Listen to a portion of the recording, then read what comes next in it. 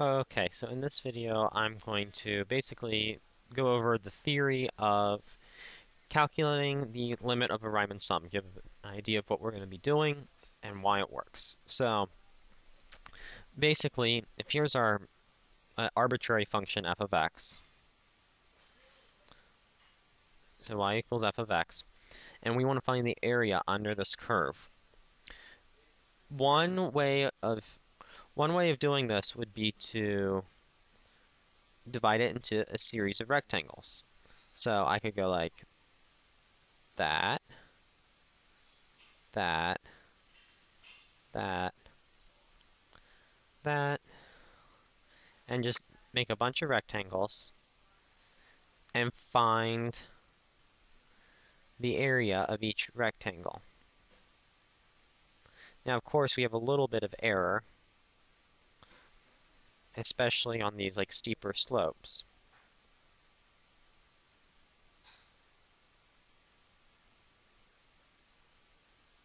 Like that.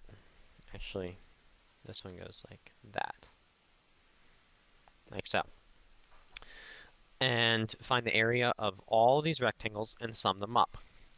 And that would be area of R1 plus area of R2 plus area of R3 all the way out to area of Rn. And that would be total area. now, recall from the sigma notation video that when you have something like this, you could basically write down um, sigma sum of k equals 1 to n of area sub k, like that, or to keep in consistency, area of rectangle k. And that would do rectangle 1, rectangle 2, rectangle 3. And what we need to basically do is to achieve the actual area is make the width of these rectangles as small as possible. So if the width wasn't that wide, but rather something like this, for all of them. I won't do it for time constraints. We'd have a much better approximation. If it was actually so close that there was an infinite number of rectangles that you used, well, you'd have um, the exact area. So this brings us to the idea of Riemann sum. So what is the width of a segment? Well, the width of a segment, we'll call that delta x because it's on the x-axis. And all these are going to be the same width. And that would be b minus a over n. So n is the number of rectangles. So you can see b minus a over n. They're all the same size. And so now we know the base.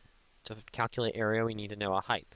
So we have f of x gives you the height of the function, but we need to pick a point here. We'll call this x sub k superstar, where x sub k superstar is in this range. Like we'll pick any arbitrary rectangle in rectangle k. x sub k superstar is a point within this rectangle along the x-axis. So some point along here um, is point in partition. We call each of these rectangles a partition. Partition, whatever. Yeah. So now we have this. So we can say the sum k is equal to 1 to n of f of x sub k superstar delta x. Now we want an infinite number of rectangles. Well, how do we do that? Well, this in here is the number of rectangles. This in here is the number of rectangles. So we think back to calculus 1 with our limits, and we have a limit as n goes to infinity. So limit as n goes to infinity like so. And this is the general form of a Riemann sum.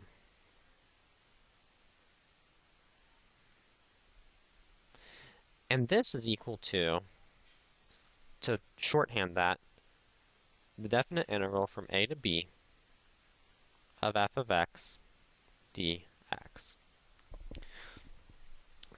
And we'll eventually find out how to find the definite integral without using a Riemann sum, but that's outside the scope of this video. Now, one critical topic is picking the value of x sub k superstar. Because you want to pick it such that you can find it based off of a function of k, because we're iterating through. So we can have this be equal to the starting value plus the rectangle number we're on times the width of each rectangle. And this produces the right-hand endpoint. So for an example up here, that would be a is the starting value, we'll say 0, plus k, rectangle number 1, we'll say rectangle 1, times delta x. So 1 delta x over. Now 2 delta x is over 3, 4, 5, 6, like so. And that's how you pick your x of k superstar value. So when you'd actually put this all in, you'd have limit as n approaches infinity of, now of course, your test or your teacher may say use a different value in the partition, but uh, it's easiest if you get to pick your value to use the right-hand endpoint. Sum k equals 1 to n of f of a plus k. What's delta x again? Delta x is b minus a over n. times b minus a over n. And that would be basically what you're going to be doing a Riemann sum off of, if you're using the right-hand endpoint. And we'll actually do some problems in the next video.